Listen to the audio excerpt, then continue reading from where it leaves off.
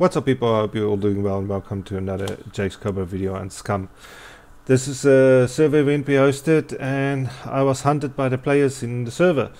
So um, I also had 5000 Scum dollars on me and on our server we've got an admin run merchant shop where they can spend the, uh, the Scum dollars for much needed loot.